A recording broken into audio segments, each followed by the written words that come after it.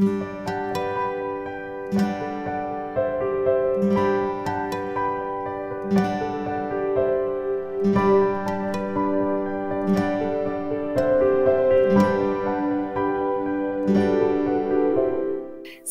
in the shadows of the towering neo Gothic National Cathedral, the original Garth Garden was a mid century landscape that linked the walkways on the cathedral grounds. The original garden was designed by landscape architect Meade Palmer. Artist George Tsutakawa designed the large fountain centered with a bronze sculpture. The fountain and the garth were dedicated in 1969.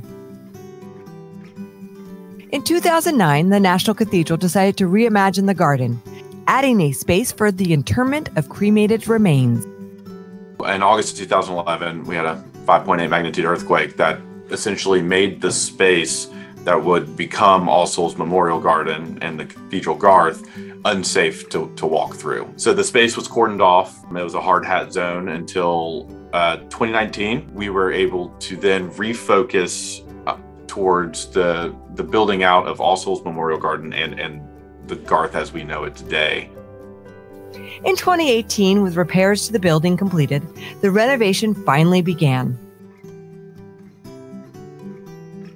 We saw it as a preservation project. What could we do to actually hang on to, you know, most of the key aspects of Meade's work but it inevitably would be um, changed because of the new use that was being that was being requested.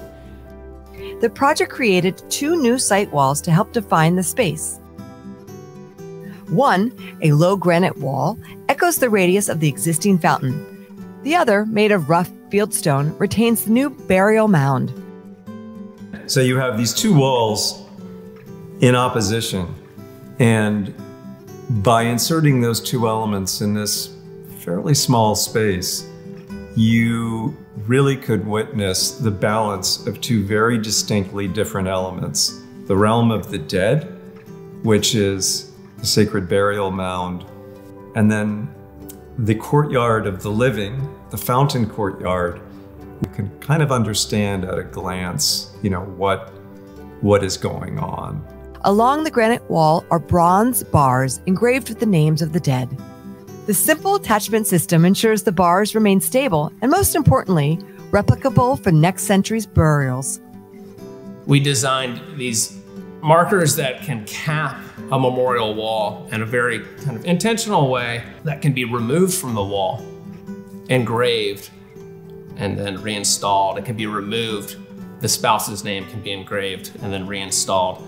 And it became something so tangible, it just made a lot of sense to us that it was something you could hold, that it could be passed off to somebody else. And uh, it really is a representation of the individual. By respecting the original design, the newly imagined space now creates two distinct spheres the more communal and lively fountain space, and the peaceful repose of the burial ground. The public can now use the space night or day for respite and meditation away from the busy world.